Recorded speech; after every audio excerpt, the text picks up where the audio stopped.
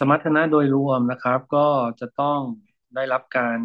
ติดตามนะครับ ได้รับการมอนิเตอร์นะครับมอนิเตอร์จากโรงงานนะครับมาเอ่อโทษเอาใหม่ ได้รับการมอนิเตอร์จากการที่มีการบันทึกค่าไว้นะครับ ตัว running log นี่ก็ถ้าบ้านเราก็เรียกว่าเป็น log sheet อะนะครับ ก็เหมือนเป็น เอกสารที่ใช้จดอะเป็นประจำทุกชั่วโมงนี้ครับ เดินตรวจในในระบบแล้วก็จดค่านู่นนี่นั่นอะไรเงี้ยครับ จดไว้ทุกชั่วโมงจะได้ตามว่าค่ามันมีการผิดปกติอะไรหรือไม่อย่างเงี้ยนะครับเขาก็บอกว่าเนี่ยสมรรถนะโดยรวมนะ ก็ต้องมอนิเตอร์จากการที่เรามีการจดบันทึกการทำงานของเครื่องจักรไว้นะครับ แล้วก็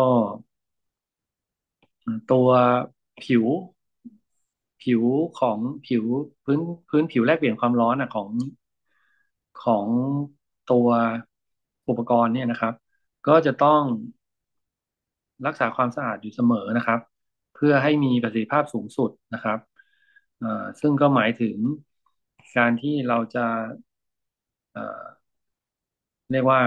เวลาปั๊มน้ำมาเนี่ย ก็จะใช้เฮดน้อยลงนะครับ พอใช้เฮดน้อยลงก็จะใช้ กำลังต่ำนะครับ กินกำลังต่ำนะไม่เหมือนกับให้พื้นที่ผิวแลกเปลี่ยนความร้อนมันสะอาดอะมันจะได้มีประสิทธิภาพสูงนะครับ ก็คือถ้ามันถ้าพื้นที่แลกเปลี่ยนความร้อนมันไม่สะอาดอะเราก็คล้าย ๆ ว่าเราก็จะต้องปั๊มของไหลให้มันไหลผ่าน